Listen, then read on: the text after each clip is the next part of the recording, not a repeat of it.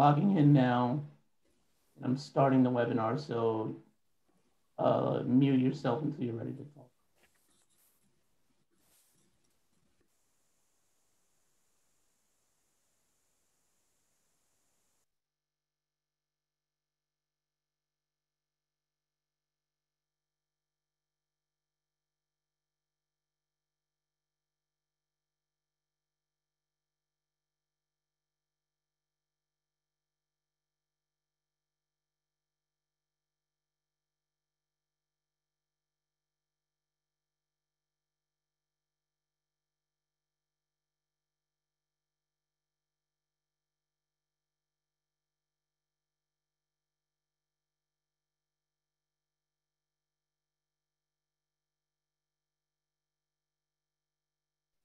Welcome everyone. We're going to get started in just a few, just a couple minutes.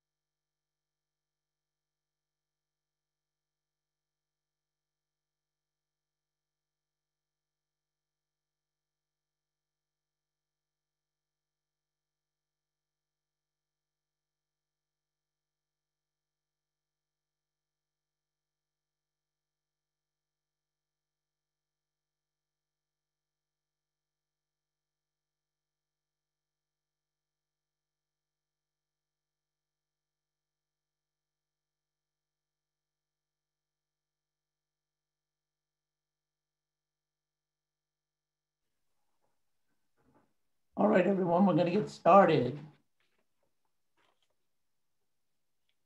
Welcome, everyone, to the Center on Race and Social Problems at the University of Pittsburgh and to our Fall Institute entitled Race, Politics, and Fighting Voter Suppression. My name is Jay Huguley. I'm the interim director here at the Center on Race, and uh, we're very excited to bring you uh, this presentation, and I do so on behalf of of the university.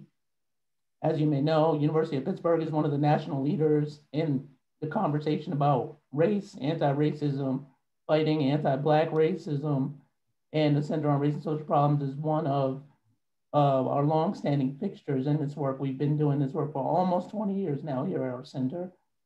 And uh, we're, we're supported by the Office of the Provost. We're housed in the School of Social Work and in the tradition of social work, we're very interdisciplinary and are looking at race and politics today. Why are we doing this now?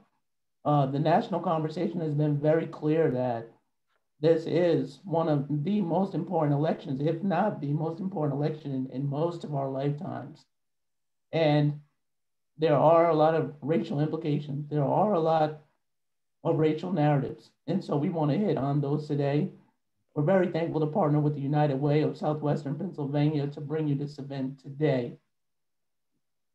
We heard this morning from Dr. Jhacova Williams of the RAND Corporation, some really amazing work on how historical patterns of lynching still impact the Black vote today. In this session, we are again going to tie the history of race and politics to the present and we're we're super excited to have a great speaker from one of the great um, places that cover this work in our in our nation. And um, before I'm getting ahead of myself, because I really need to introduce you to my co-moderator, my co-host. You will be familiar with him if you follow our work, and that is Dr. John Wallace, who since we last, I don't know, since we last spoke, but he's now Vice Provost John Wallace, uh, and he's been working in communities of color for over 30 years, uh, doing research into community engaged practice. Dr. Wallace is ranked number five among scholarly productivity in African American faculty in the top 25 schools of social work. So he's a very serious researcher. He's been funded by the NIH, the NIMH, the King Mellon Foundation, the Heinz Endowments, and the Pittsburgh Foundation. He's co-principal investigator on Pitt, Pitt assisted communities and schools. Very grounded in the community, very grounded in the research, champion for African American causes, and the Vice Provost for Faculty Diversity and Development. So I want to welcome Vice Provost Wallace, who will also introduce our speaker. How are you today? I'm great, Jay. Thanks for that overblown uh, introduction. I'm a Homewood oh, Homewood Head Start graduate. That's who I am. But all that said, uh, thrilled to be here today to have the opportunity to introduce our speaker, Clare Malone. Clare's a senior politics writer at 538. She's famous, by the way, where she writes about electoral politics, class, and race in America. Appears at the site's weekly podcast. Her writing is everywhere, including New York Magazine, Harper's, The New Yorker, The New York Times. And uh, prior to 538, she worked at The New Yorker and American Prospect. She's a graduate of Georgetown University and a native of Ohio. She didn't go to Ohio State, so I am allowed to have this conversation. go blue. Go ahead, Clare. No, co- no comment. Well, welcome to Pittsburgh. I understand you got to protect yourself. I understand. Welcome to Pittsburgh. Thank you so much. It's great to be here virtually.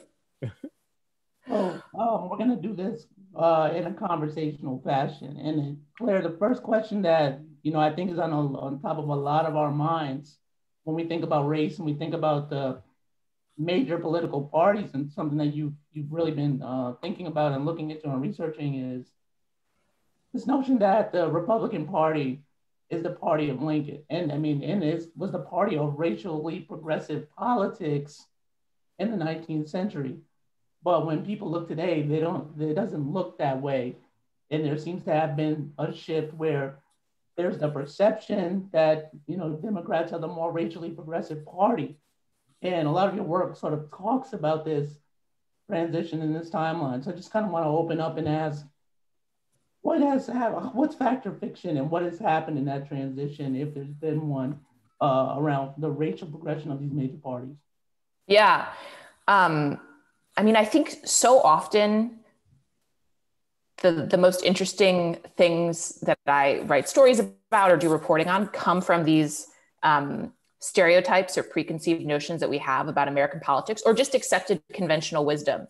So, um, so most recently this summer, I, I did a long piece about um, the GOP and basically that, right? Its history with race, with with with sort of um, courting white voters and very aggressively either ignoring black voters or trying to suppress the vote of black voters. And and the idea for this piece, and I'll, I'll go through and, and, and, talk a little bit more about um, the history of the Republican Party and and Black Americans. But the idea for this piece came out of you know my editor and I were talking about this is, you know, back in, in the beginning of the pandemic, uh, President Trump was doing a lot of talk about, you know, dismissing out of hand vote by mail and same day registration, all of this stuff that was, you know, supposed to help people vote during, you know, a pandemic. And he said this, he said, quote, they had things, levels of voting that if you ever agreed to it, you'd never have a Republican elected in this country again. And basically, a lot of people took that to mean, and I took it to mean, um, that there's a political wisdom that's ingrained that when black and brown people vote, they don't vote for Republicans. And there's a lot of Republican strategy over the past century that's kind of flowed from that conventional wisdom. And that's the conventional wisdom now, right? Is that, you know, I think, you know, Joe Biden sort of famously, clumsily said it on a radio show earlier this year. He said, like, you ain't black. If you don't vote, if you vote for Trump, uh, you ain't black, right? right. Which obviously rubbed a lot of people the wrong way. Um, but you know, obviously Lincoln was a Republican, um, and and the uh, the affinity that Black Americans felt for the Republican Party, the party um, that abolished slavery or helped abolish slavery, was pretty strong for a really long time. And I, I won't bore everyone with going into to the 19th century, but let's go to 1940. Um, you know, we're we're in the middle of a world war, a depression, and FDR is doing quite a lot to court a pretty big coalition, a coalition of um, Black Ameri- Americans, a coalition of these, you know, what people would call ethnic whites. So people who would live in places like Pittsburgh and Cleveland, Irish, German, Slovenian, Polish. Um, and Black party identification in 1940 is split between Democrats and Republicans. So, you know, your grandparents might have been alive when um, half of the Black people in this country would have considered voting for a Republican. Um, move forward a little bit, in 1956, Dwight Eisenhower uh, got 40% of the Black vote. So we're in the 50s, we're in the civil rights era, and uh, Republicans are still doing pretty well uh, with Black voters. In fact, um, my sort of favorite fact of around this era is that um, Dr. Martin Luther King Jr.'s father was a Republican and actually considered voting for Richard Nixon in 1960. Um, but then JFK called his son while his son was was in prison, and and that swung uh, the father's vote for for the Democrats. So there were a lot of there were a lot of Black Americans who were still very much split in the mid-century. Um, you know, even in 1960, you have Richard Nixon saying, um, I, I lost in part because I didn't go hard enough after the black vote. Um, and I'm gonna I'm gonna do that annoying thing where I quote a little bit from one of my my pieces because I think that that you know even in the in the mid-century when um, black voters are still you know decently attuned to the Republican Party, the Republican Party wasn't particularly attuned to them. Um, and and you know Dwight Eisenhower had uh, the first African American to serve in, a, in, an executive staff position at the White House. This guy's name was E. Frederick Morrow. And he uh, gave a speech in 1959 where he basically said that the Republicans were too apathetic towards Black voters. And he said Republicans could not expect Negroes to be extremely grateful for what Lincoln did, since in effect he had nearly returned to them their God given rights of freedom and personal dignity. So basically, this Black Republican is making the argument of you can't just coast on Lincoln, right? Forever. And uh, I'll speed up a little bit here. You get to uh, 1964, which is kind of the big year for um, race and political parties in America because you have Barry Goldwater as the Republican nominee running on the ex- pretty explicitly racist Southern strategy. Um, you have Southern, you know, Democrats for a long time had been the party of segregation in the South, the term Dixiecrats, right? So 64 and, and that early 60s period when um, the civil rights, what would become the Civil Rights Act is, you know, there's there's debate going on in DC about it. Certain Democrats, including John Kennedy, are a little bit tepid in the way that they're approaching that bill. And but you're but you're seeing a lot of Southern Democrats say, I don't think this is my party anymore. And they're saying it explicitly because of race. And Barry Goldwater swept up a bunch of those people in 1964. He lost, um, but that kind of started to open up for Republicans a certain sense that perhaps an easy way to win votes is to go after a white vote in the South that is racist. Um, and you see that in 1968. Um, kind of you know there was a there was a period after Goldwater lost pretty pretty profoundly where some Republicans, including uh, Mitt Romney's father George Romney, for the Michiganders in the room, um, was the was the governor of Michigan and was a pretty moderate Republican. He was for the civil rights bill. Um, you know, he he would serve later as, uh, Nixon's uh, HUD director and was was decently progressive about uh, residential uh, integration and, and kind of got kicked out of Nixon's cabinet because of his racial progressivism. Um, but Romney was basically saying we should we should be more racially progressive, and he did not win that argument within the Republican Party. Uh, Nixon became the nominee. He ran on a uh, not just a let's win the Southern white vote, but also let's win the uh, Northern white vote. Um, and there was a certain amount of there's there's some interesting you know, if you, if you deep dive Time Magazine from 1966, there's this article that talks about the fracturing of FDR's, you know, famous Democratic coalition, and they say one of the ways for Republicans to um, to pick up on those ethnic white votes is to play to the racial fears of whites in the North. So, you know, Boston, uh, Pittsburgh, Cleveland, you know, all of these places, Chicago, um, people who to, for whom the the Nixon law and order message really resonated. And you're kind of from there, you're a little bit in autopilot. You know, there are that that Democrats become the party of racial progressivism and Republicans do not. There are some bumps along the way. I think there's a really interesting um, moment in 1978 when Jesse Jackson um, appears, is invited to appear before the RNC to speak. And he basically says, You guys are leaving a lot of black votes on the table. I'm not going to say you're going to win every single black vote, but you could do a lot better. And uh, the RNC chairman comes out after that Jesse Jackson speech and, and, tells the New York Times, you know what, the right, uh, the right candidate in 1980, the right GOP candidate in 1980 could win 30 to 40% of the black vote. Well, Ronald Reagan was the Republican nominee in 1980, and he won 14% of the black vote. And, and Reagan obviously came from that really conservative uh, Barry Goldwater Southern strategy message. Now, Reagan was, and I'm almost done here in my long first answer. Reagan was, um, as we have all heard over and over again, the great communicator, right?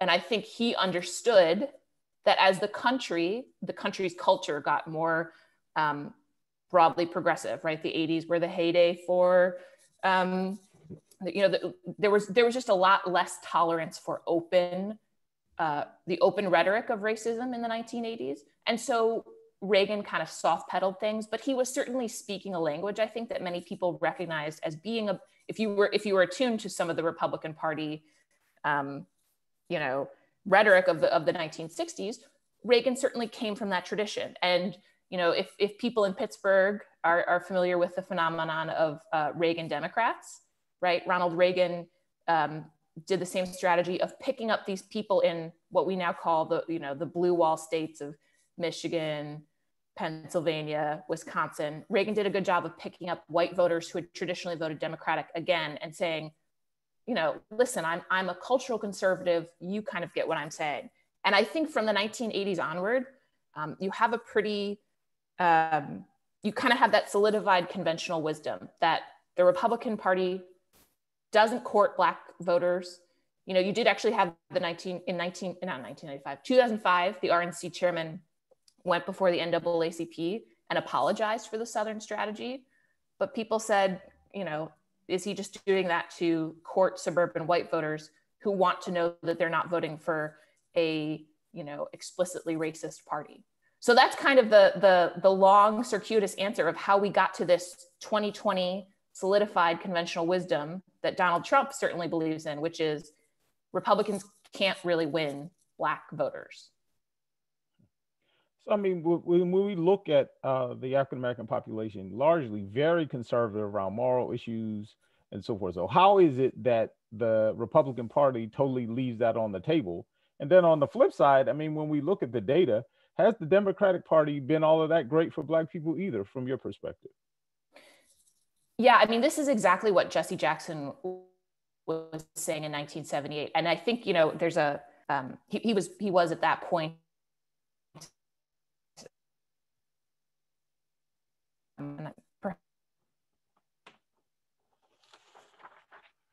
Still a Jackson from a right around some pretty like you know conservative um, a woman's place is in the home uh, oh can you guys hear me? I think maybe i yeah, yeah okay good um, so so Je- jesse jackson was certainly um, a person who was saying to republicans listen there are conservative strains within um, the black community that you can pick up on it's the same it's the same yeah it's the same play that um, let's say George W. Bush and Karl Rove made about let's win Hispanic voters, right? There was a there was a big conversation um, when Bush ran for president in 2000 that he was going to make the Republican Party a diverse place because Hispanic voters were natural conservatives because they were religious. You could make the same argument about about about black voters, right? And I think that's oh, absolutely. What, I yeah, mean, what, nationally, there's there's no one in America more religious than black people Yeah. And so the fact that the Republican Party, you would think, given that that's part of the the storyline, that there would be some connection there, but it's totally totally missed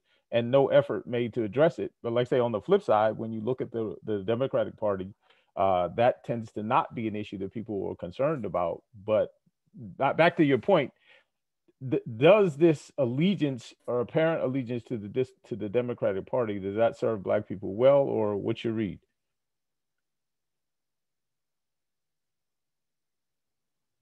This is, this is really the, the complicated question, which is um, Black the Black vote in this country. You know, accounting for the fact that people are idiosyncratic and all that stuff, but they, it mostly votes for Democrats. I do think there is something to be said for you know what Charlemagne the God basically was saying to Joe Biden in that that interview, um, which is yeah, there's there's there's some sense that potentially that the the establishment part of the Democratic Party um, doesn't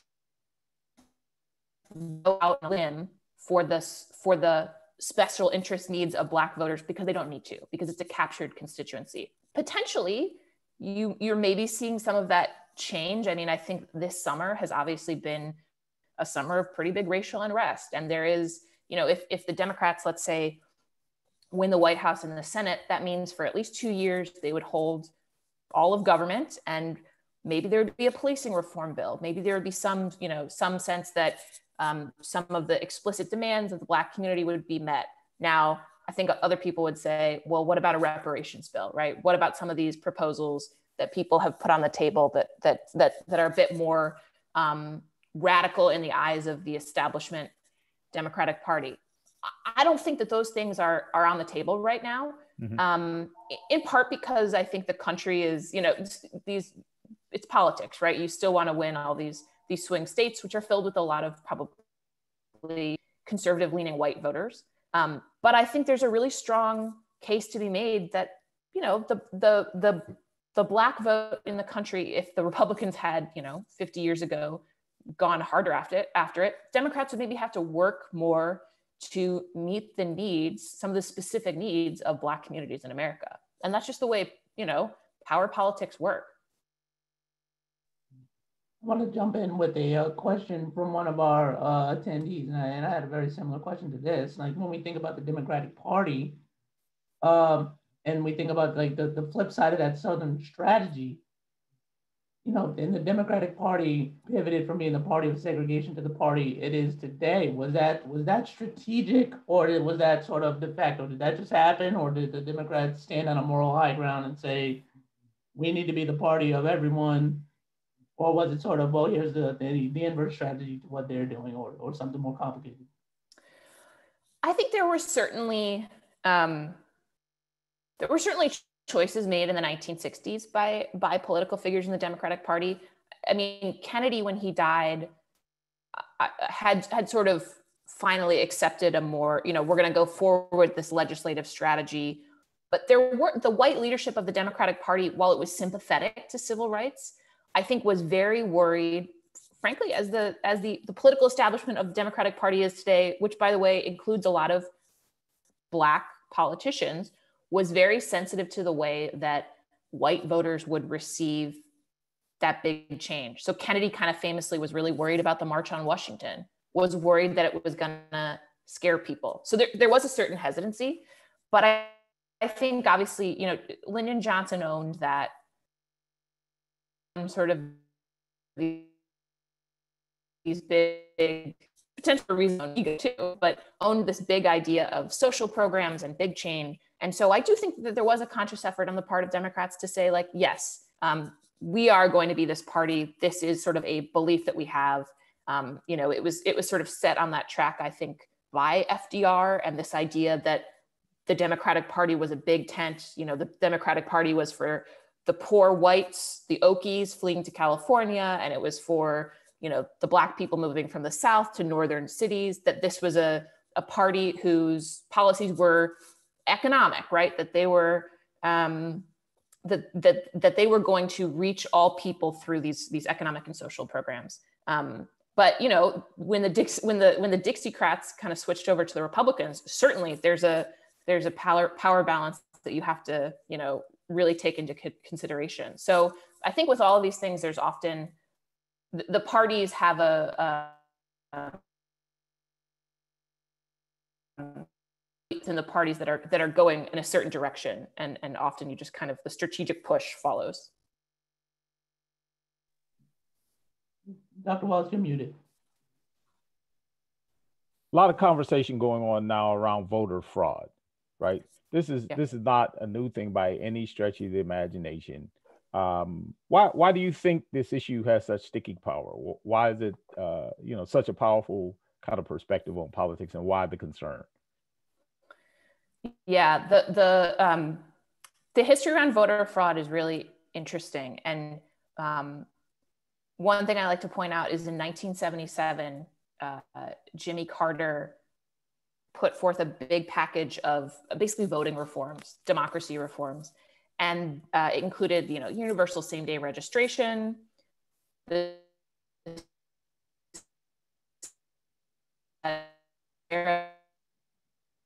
like Jesse Jeffy of said, this is a great idea.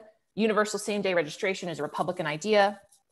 Well, he ends up talking to Ronald Reagan, has a meeting with him, comes out of the meeting and says, actually, we're against this. We're worried about voter fraud. So voter fraud started to be a buzzword kind of in the Reagan era. It had certainly happened before. I mean, if you um, kind of the, the dog whistle about um, voter fraud was, you know, when Republican politicians talked about it, had to do with Chicago. They would say Chicago, you know, which which was basically a veiled the the activities in Chicago um, were were usually had to do with like corrupt Democratic politicians, black voter voting blocks, places where um, Democratic machine politics was rigging the vote for their candidates. Now, I will say, American politics and the Democrats included, there is a there is a history of you know rigged elections, democratic machine politics, right? All of that stuff. Um, but I would say in the second half of the 20th century, that isn't really a thing that that happens much at all anymore. There was a there was an analysis done um, by a scholar back in 2014 or 2015, and it was something like of the you know billion something ballots, a crazy number of ballots cast in the last 30 years. There have been something like 30 credible instances of, of voter fraud. Very, very, very slim um, evidence to show that, that voter fraud actually exists. But it's a compelling talking point for people because it has the veneer of um, concern about democracy, right? It's the it's the kind of pearl clutching that that gives you know people a credible you know way to say, well, don't you want to ensure that that the vote is um, is correct that we are not taking any chances with democracy right? That that we need to be rigorous in the way that we regulate democracy. And i think a lot of people democrat or republican would say voting is a right that we have. Voting should be easy. You shouldn't you know we've, we've made laws in this country against poll taxes. Um, you know we, we have a long history around the racialized um, sort of you know hoops to jump through in order to vote. Mm-hmm. Um, but that but that veneer of don't you want to protect democracy is I think a very powerful piece of, of rhetoric that has been thrown around for quite a long time. You think how much do you think um, of this voter fraud sort of uh, tool in terms of electoral politics is a knowing deception uh, given what the real rates of voter fraud are, or in how much of it is sort of people just going along with a story that's that's not well supported, uh, not not not knowingly being deceptive, but just thinking, just assuming that this is actually you know a, substantial problem. I think that's a that's a, a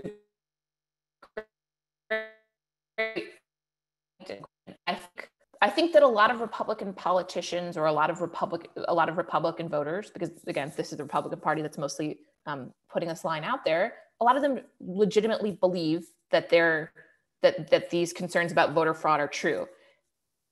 Now, one of the reasons why um, I think that that has been per- perpetuated is that the right has done a really good job of setting up, um, you know, what someone once called shadow academic organizations so a place like the Heritage Foundation, which was founded in the late 70s, early 80s, um, you know, has this sort of uh, notorious scholar Hans von Spakovsky, who worked for George W. Bush, who was a, you know, a poll watcher in, in Georgia, um, who, who, who has um, made a career of, of basically, um, I would say, peddling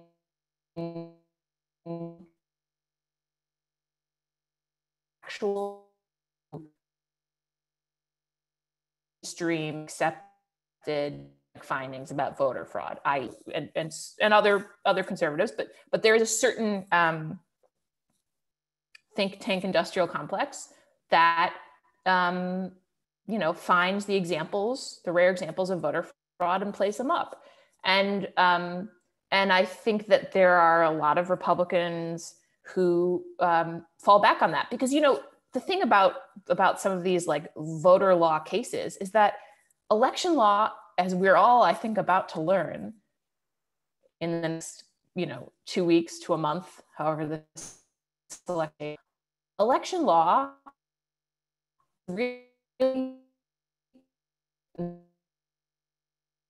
and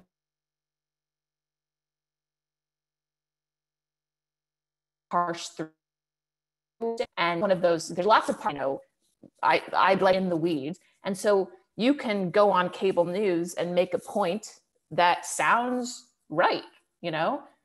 But it but there might be evidence that says like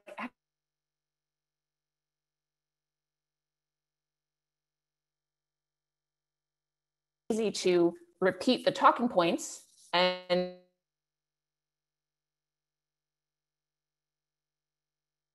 you believe in voter fraud. And I think a lot of Democrats would say, like,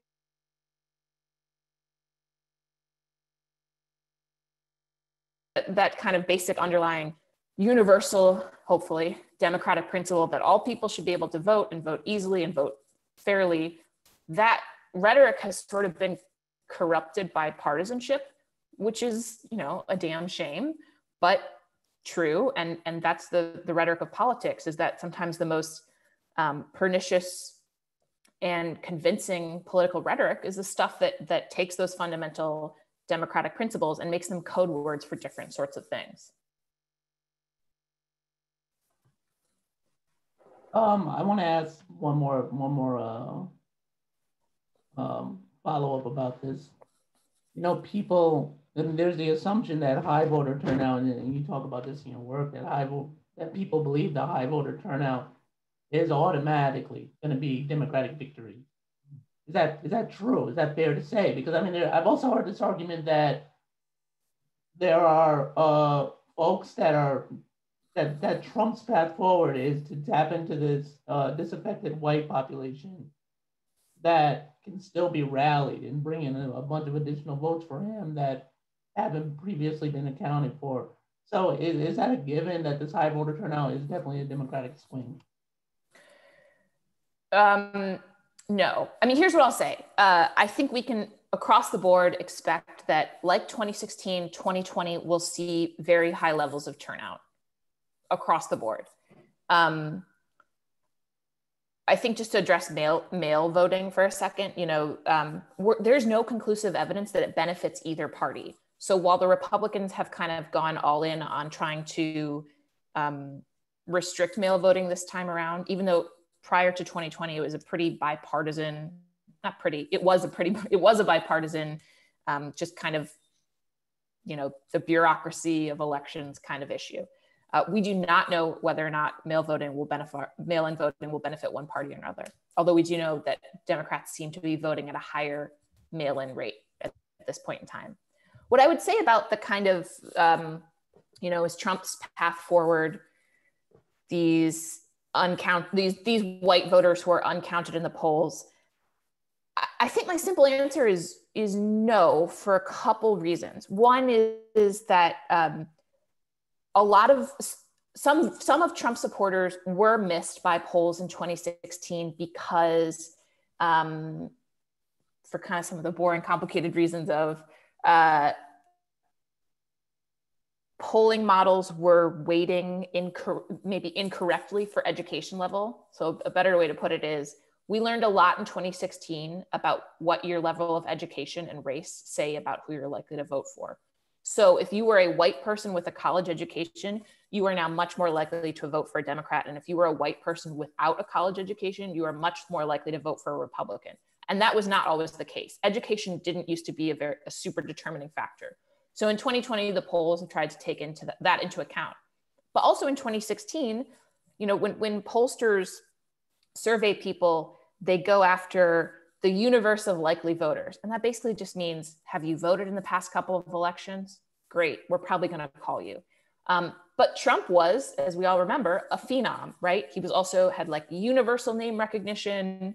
People had known him for decades and decades. And so people who hadn't voted, who weren't in that, you know, universe of likely voters that pollsters would poll, came out and registered and voted for Trump. So there were some votes that were missed.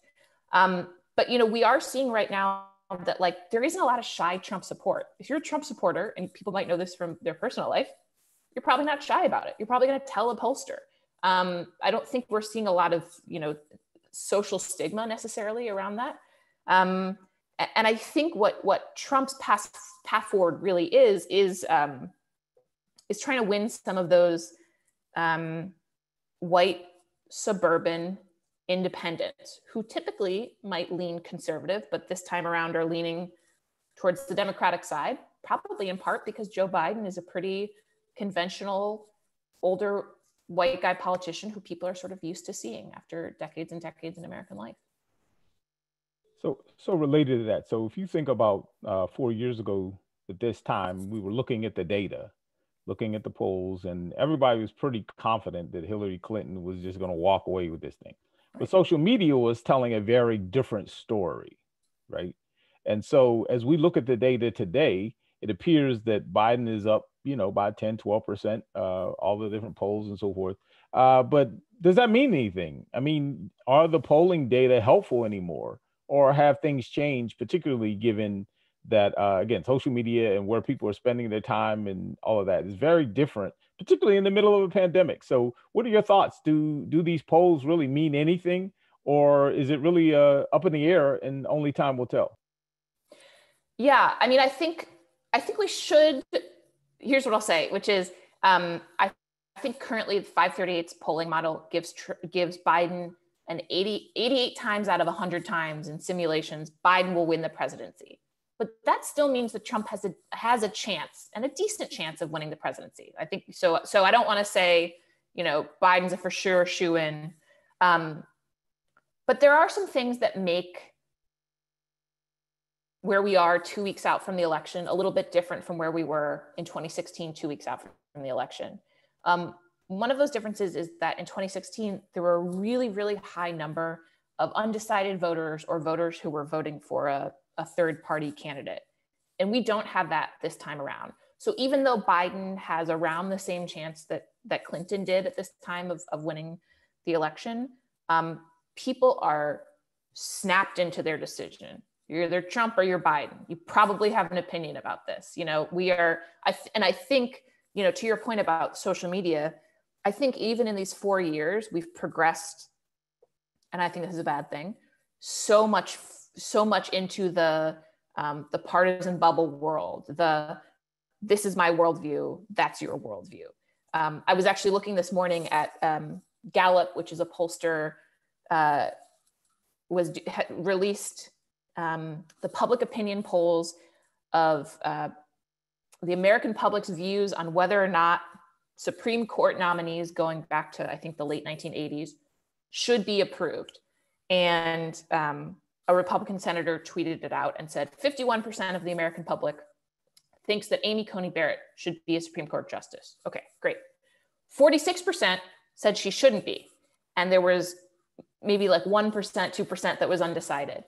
If you go back and look even at Kavanaugh, you know, obviously Kavanaugh was an interesting experience, but there were tons more undecided people about Kavanaugh, whether or not Kavanaugh should be approved.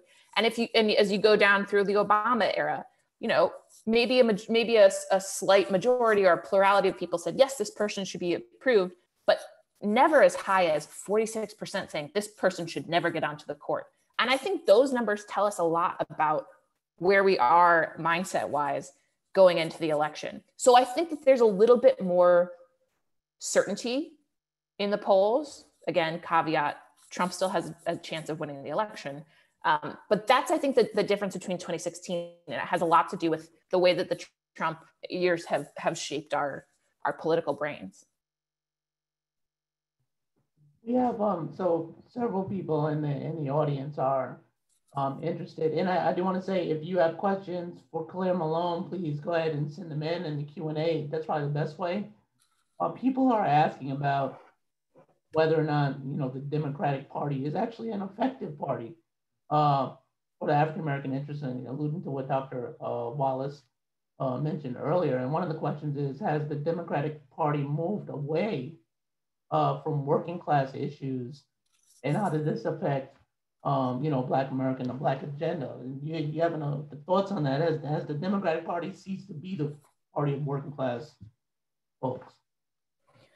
Um, it's a good it's a good Pennsylvania question, right? Because because I feel like whenever you know whenever politicians come to Pennsylvania, Joe Biden's always talking about um, you know, the working class Scranton roots. Um, but I think it's a good question. Here's what I'll say. Uh, here's what I'll start with, which is I think it's sort of inarguable that politics in America has become nationalized. And that means that the national perception of Democrats, I think, is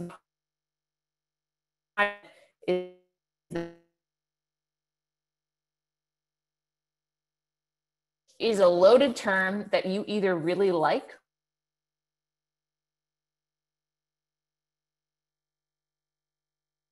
too much on abortion and gay marriage and being woke and you know abolishing ice and abolishing the police. And it doesn't care about you know my bread and butter economic policy issues i think that's that's um, that's one read on the um, on the national identity of the democratic party. I think that Trump has done a lot to kind of, you know, put out a populist rhetoric around the Republican Party, but there is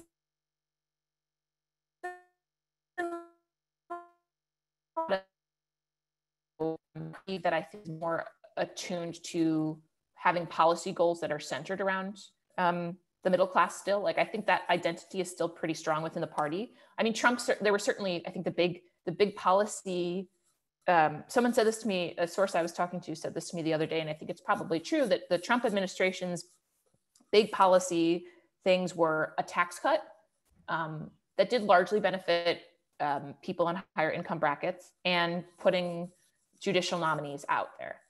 Um, I think to, to go to the, the racial part of this question, which is, um, you know, are the Democrats still the party of the working class? I mean, yes, but I think that that um, that p- potentially their national identity of being the woke party has sort of overshadowed that. And again, this is such a tricky territory because, like, I think that woke is a is a pejorative often, and it doesn't really get into what you're talking about. But you know, um, I think Warren was interesting as a Democratic candidate because she talked a lot about the way that policy, economic policy issues tied to race so she had this program about redlining. She talked a lot about um, the lack of, of, of home equity and long-term wealth within intergenerational wealth in Black families. Um, and, and frankly, like the way that American suburbs and cities have been structured to, um, to, to, be discriminatory and to cut off long-term wealth of minority communities and I thought Warren was interesting in talking about that. And I think you see some of that in Bernie Sanders, where Sanders will sometimes say, uh, yes, I agree with gay marriage. And yes, I agree, agree with, you know, these woke reforms, but let's talk about the economics of it. And I think that's probably the direction that a lot of Democrats, both in the establishment and the kind of like um, progressive left would like to see. Like they would like to see more focus on policy issues. But I also think that there's a lot of um, identity issues that have bubbled up and are important to people and, and they want to see addressed. So it's kind of a, I mean, I've given a long answer, but it's kind of a sticky, complicated question. A good one though. There are there are folks that are asking questions that relate to sort of the future of the parties, and you know, with um, there there's the you have your and on the Democratic side you have the moderate Dems, and you have a very strong and growing, maybe progressive branch of the party, and people are having conversations now. Do we see this in the future as a as a two-party uh, society or uh, more major parties? There are there are other parties, so are we moving more towards a splintering, and that there might be three parties? And you know, part of that is what we were just talking about is the moderate Democrat platform really uh, doing enough to address racial equity, uh, racial justice, and anti-black racism in particular. Do you see yeah, the chance that we might see an evolution in how the parties are configured, and with race as a part of that that change? Yeah, my short answer is I don't think that we will be anything other than a two-party system realistically, because it takes a lot of it takes a lot of lotta to make a to make a whole new third party but i think um, you know right now you're you know i'm talking to people who are in democratic politics who are all pretty sure that biden is going to win the presidency and now what they're all thinking about is okay what do we do for the two years where we might hold power and when you talk to a lot of the younger progressive people a lot of the people who are attached to you know say the, the politics of the squad, right? Presley or AOC, um, people who have made racial justice issues a big part of their platform. A lot of what they're focused on is there's some, you know, they have some sense of, okay, we, would like to get some, um, you know, policies in a, in a COVID stimulus bill that help minority uh, workers, particularly frontline workers who are obviously mostly um, people of color, particularly in cities like I'm in New York, um, you know you only see people you, you, you basically don't see white people on the subway going to work. It's only people of color. So so so addressing some of those frontline worker issues but then a lot of what you see from these younger younger progressive people is a focus on we want to staff offices and get judicial nominees in the pipeline for the next 10 20 30 years who are black and brown people who are who are um, not you know working for white shoe law firms who have civil rights backgrounds who basically have a different worldview and their sense of things is that they're seating they're seating the democratic um,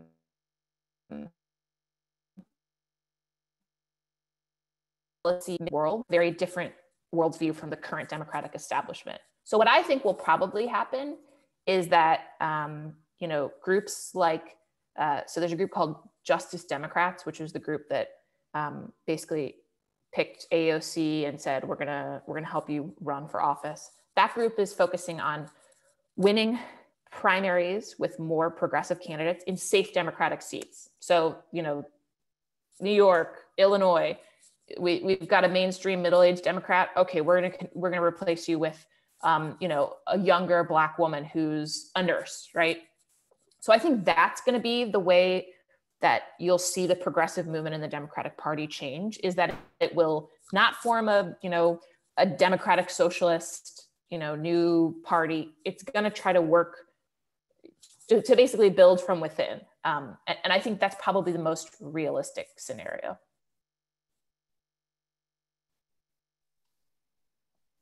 We have um, we have uh, an audience member who says, as a Democrat who's voted for three Republican candidates in general elections dating back to 1976, it seems that the Republican Party, election after election, seeks to sabotage American democracy by building bogus walls of voter suppression.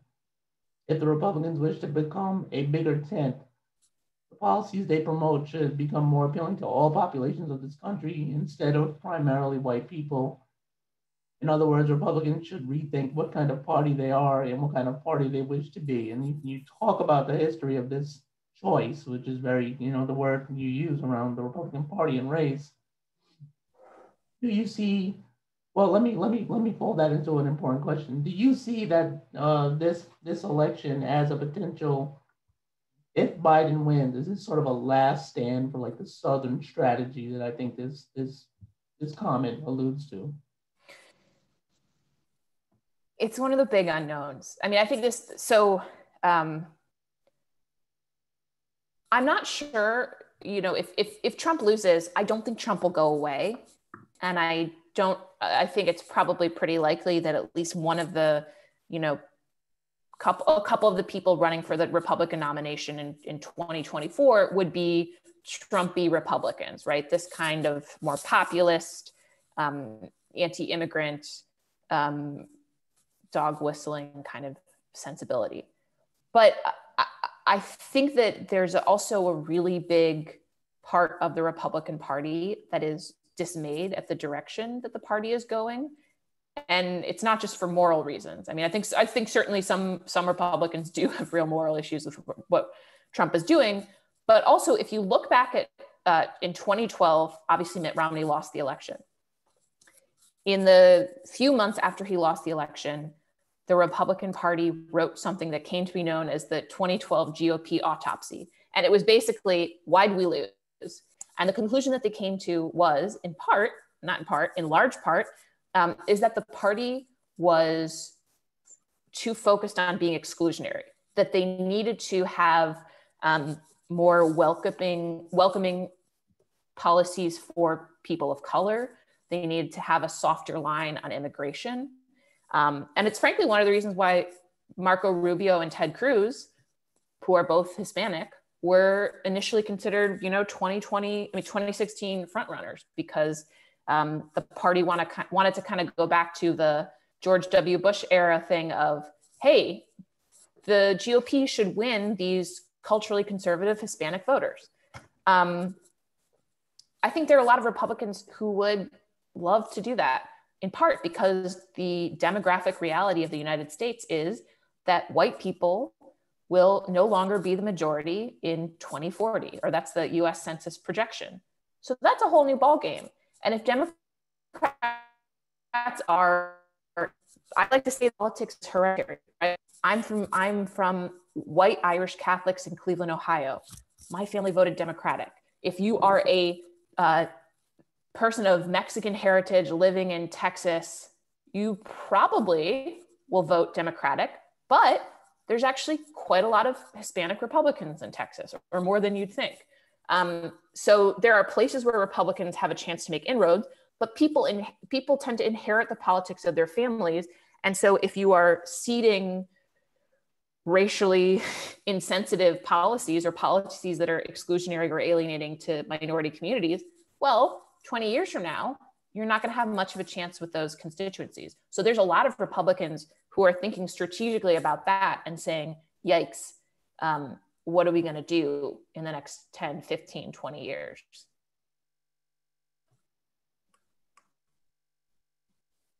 Um, one question that's coming is, you know, when we have these conversations and talk about Biden being highly likely to win, uh, will will that will that cause um, can that can that potentially contribute to low voter turnout because people assume he's going to win and then not as urgent for me to show up when the polls are what they are right now? Um, you know, that's that's certainly often we'll hear like in in normal elections on election night, there's a there's a rule that all the major networks have where they they kind of try not to call certain states before certain other states in different time zones vote because there is a concern that campaigns have about like oh people will stay home they won't vote they won't feel like their vote counts. I think this year is is kind of a different ball game because so many people are a it's just like a people are very tuned into the selection people are highly motivated to vote. Um, but also so many people have already voted. I think something like 30 million people have already cast their ballots. Um, so i i don't necessarily think that that has an effect this year in particular just because of the kind of bizarre circumstances of our election. Um, we had a really, really riveting speaker this morning who, uh, Jhacova Williams from RAND Corporation, and she talked about how voter suppression tactics of the past um, still statistically, and she's an economist, still stand today and account for um, sort of um, voting voting attitudes in the Black community even today. And one of the questions from the audience is that uh, do you think that a memory of a different type of or an extreme voter fraud from past eras uh, make Black voters wary today of these accusations of voter fraud? That it could, I guess, maybe have a disproportionate effect in communities where they have been uh, suppressed in the past, thinking that their vote will be suppressed uh, and therefore maybe less likely to engage. What do you think about that?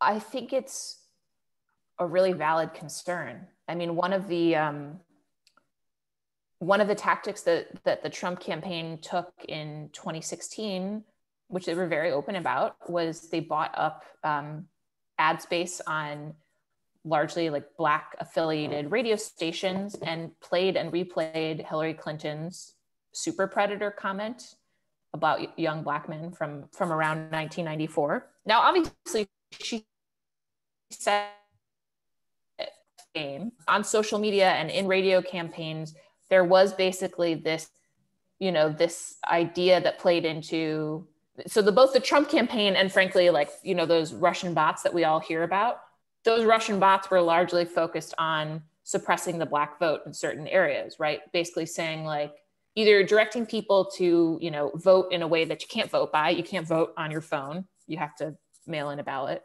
um, or saying or, or basically putting out comments like the super predator comment to say listen democrats don't care about you and i think that those play into very real i mean we spent very real fears and logical concerns that the black community has we've talked about how you know the democratic party knows that they have the black vote on lock or and so like there are logical conclusions that people can make that say like well my vote doesn't matter and I think it's lots of Americans who feel like that, but certainly Black Americans in particular. I mean, and there's, you know, I think there's a long and, and particularly right now, a disturbing history of, of, of distrust that people have in government for good reasons. You know, at, at 538, we spent a lot of time also covering COVID 19. And, and right now we're talking about vaccine acceptance in the United States, which has obviously become highly politicized but also particularly within the black community there's a really long history of people being correct and not trusting the government this this tuskegee institute syphilis study right the, you know people aren't wrong to know to say that like the government hasn't treated them well in the past and in fact you know knowingly hurt them so it's it's a really tricky issue and history lives within us right like politics is genetic and ancestral, and so is distrust. Um, so I think it's a it's a completely valid thing. I would hope that people vote. You know, that's bec- that's become. Uh, I feel like saying you should vote has become a politicized thing. But I think, you know, I'm a, I'm a journalist. I kind of my job relies on the Constitution. I feel okay saying, I hope you vote. I hope you, you know, I hope you don't feel um, like your vote doesn't count but you know people are people are smart and logical and and and have reasons for doing these things and there are malicious actors who play into those things for nefarious reasons. So real quick what's the likely response? So you give us your 10 seconds. So biden wins trump wins. How do you feel the country is going to respond? What's what's the 4th of november going to look like? We have a clear answer about who wins the election on the 4th I think I think you're going to see a lot of video images of, of rejoicing New York City streets. And I think you're going to see a lot of Donald Trump on potentially on Fox and Friends saying, this isn't legitimate. And the other way around, I think, you know, um, I think it, will be, you know, 2016 all over again for for Democrats and a lot of you know we told you so from from the trump team thank you let me let me ask one final question what do you think um is the most important thing people can do between now and november 3rd We've got two weeks to um, get the vote out, vote ourselves. We are advocating for that here. Um, and um, regardless of party affiliation and, and you know political positions. But what do you, what what would you advise people between now and November third?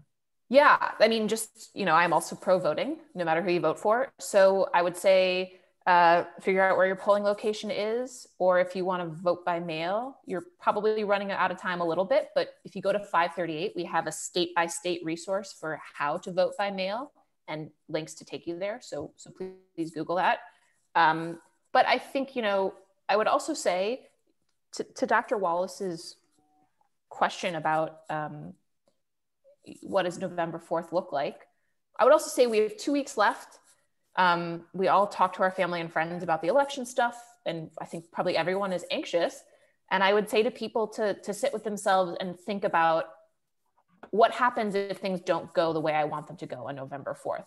What's my reaction and, and what's my mindset going to be? Because I think part of part of 2016 was that it was it was a surprise for everyone, and um, I think that led to uh, a lot of anxiety and a lot of confusion. And I guess I would say to people, you should you should know that there's a good chance that Trump that Biden will win, and there's also a decent chance that Trump will win. So I think people should acclimate themselves to that reality. In addition to having a voting plan, knowing where you're going to vote on on November 3rd, googling it if you don't, um, but also also knowing that there's a possibility that your candidate won't win. With that, we are out of time. I want to thank you, Clare, for sharing very deep and enlightening conversation, going over basically more than 100 years of history and how things play out today and what matters in, in voting across the parties and the history of the parties and how that plays out uh, for race. And so thank you so much for joining us. You can follow uh, Clare Malone's work uh, on Twitter and, and at 538.com. And we have one more panel today at 2 p.m. You can follow all of our events at um, facebook.com slash pitcrisp. Uh, and you can follow us on Twitter and we'll make sure you stay abreast of everything. So thank you again, Dr. Wallace. Thank you. Thank you. United sir. Way, thank you. And We'll see you all in just another hour. Thank, Thank you. you for having me. All right. Thank you. Bye. Bye bye.